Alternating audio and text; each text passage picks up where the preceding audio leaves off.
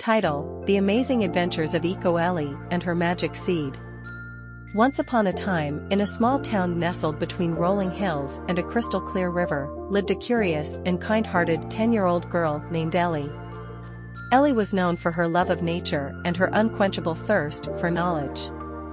One sunny morning, while exploring the woods near her home, Ellie stumbled upon a shimmering, magical seed. It sparkled with the colors of the rainbow, and she could feel a mysterious energy emanating from it. With great excitement, Ellie decided to plant the seed in her backyard. Over the next few days, something incredible happened. A tiny, talking tree sprouted from the ground.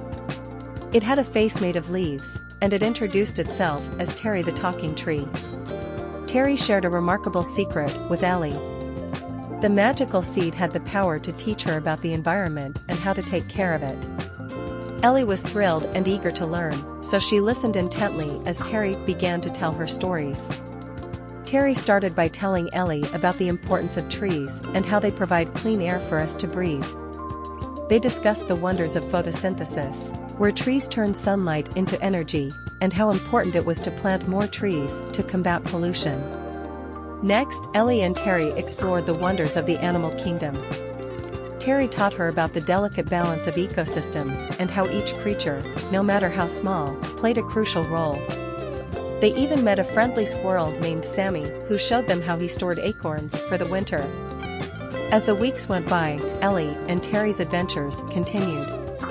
They cleaned up a nearby pond, rescued a trapped bird, and planted a colorful butterfly garden. Ellie's love for the environment grew stronger with each passing day. One day, Ellie's friend Timmy came over to play, and Ellie excitedly introduced him to Terry. Timmy, too, was fascinated by the magical talking tree and wanted to learn about the environment. Together, Ellie, Timmy, and Terry formed the Eco Explorers Club. The club's mission was to protect and preserve the environment. They organized cleanup events, planted trees, and educated their friends and families about the importance of taking care of Mother Earth. Word spread quickly, and soon, kids from all over the town joined the Eco Explorers Club. Together, they made their town a cleaner, greener, and happier place for everyone. And so, as the years went by, Ellie and her friends grew up as eco-conscious individuals, dedicated to making the world a better place. All thanks to a magical seed, a talking tree, and the power of friendship and knowledge. The end.